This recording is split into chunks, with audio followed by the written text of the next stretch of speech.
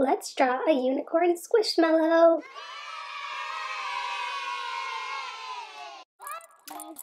First, let's start out drawing that classic squishmallow shape.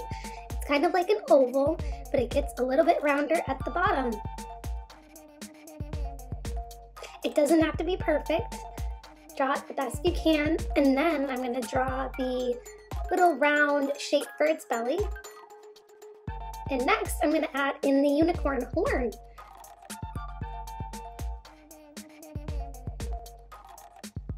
So now I'm going to draw the diagonal curved lines for the unicorn horn.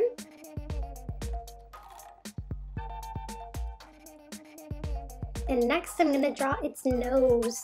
So I'm just doing an oval with two little circles on the inside.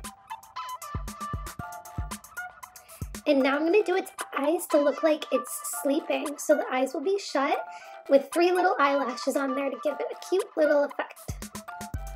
Next I'm going to draw its fur. So you just draw these cool curved little switch lines. It doesn't have to be perfect.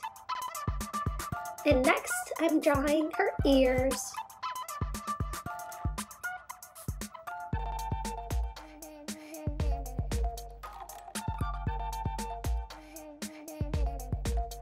You did it! And you drew the squishmallow, so now it's time to color it in. I'm using yellow, blue, and pink, but you can use whatever colors you want. So I'm just taking the yellow and I'm doing a little bit on the horn and then a little bit on the fur, and the same thing with blue.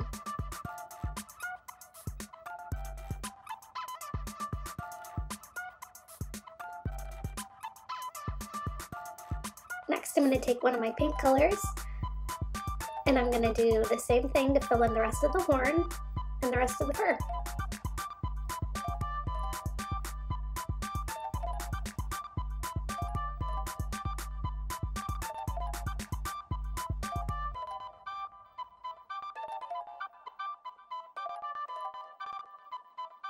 Next, I'm just filling in one little piece of the ears.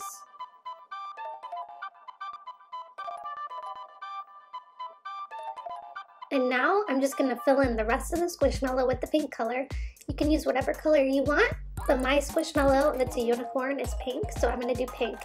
And I also thought it would be cool if somebody tried out a tie-dye effect. I think that would look really fun.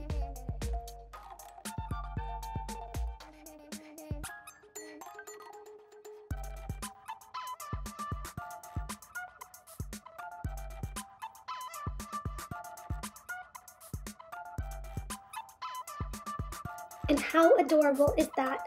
That's it. That's our final unicorn squishmallow. I hope you had fun. Give this video a thumbs up and be sure to subscribe.